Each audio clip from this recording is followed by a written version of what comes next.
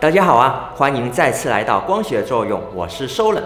素描啊是绘画的基础，是用黑白灰来刻画物体的轮廓与光影的变化。而在摄影中，布光用光通常会用到光影的变化来营造物体的立体感与质感，与素描有异曲同工之妙。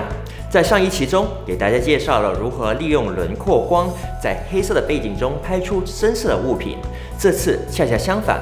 与大家介绍的是如何利用黑白灰的光影的变化，在白色的场景中拍出浅色的产品，拍出胜似素描的感觉。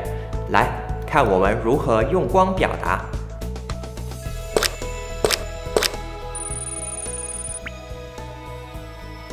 因为我们要还原素描的那种自然的光感，所以我们只在画面的一侧进行布光。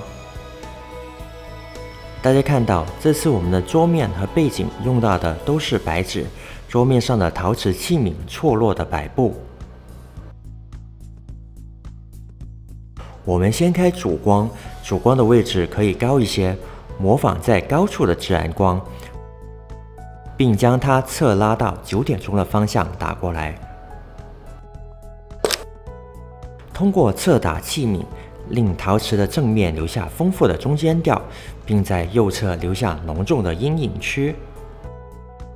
接下来啊，我们打开背景光，背景光加上蜂巢和四叶皂，使光聚焦在背景左三分之一的位置，留有左右灰调的过渡。为了让背景稍丰富，所以加上了一条树枝。并裁剪到合适的形状。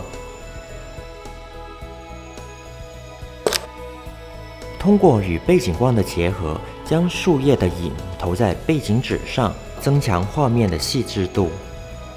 细心的大家会看到，由于陶瓷器皿的反光性，右半边会反到影棚中的一些杂物，所以最后一步，我们在影棚右侧放置一块黑色的 KT 板，隔绝反光。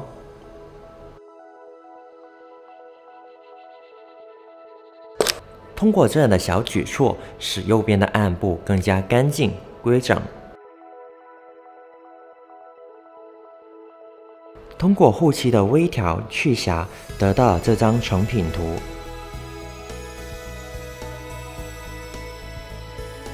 对于浅色的产品，想要在白色的底上呈现，大家要记住以下几点。第一点就是尽可能将物品与白底之间的距离拉远。第二点就是尽量控制背景的大小，这两步啊都是为了尽量减少背景的反光，而令物品的边缘不够清晰。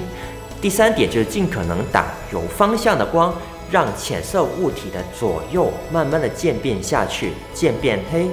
通过这几点的要领啊，你就可以在白豆白的画面中得到边缘清晰的主体。在这次的案例中，只用到了两盏灯进行拍摄，难道大家还不赶快练习起来？但在这之前，麻烦大家先一键三连，币都投到这里来哦。若没有币的话，点个赞也行啊。我是收了，那我们下期再见啦！不赶快练习起来？但在这之前，哎，对对对。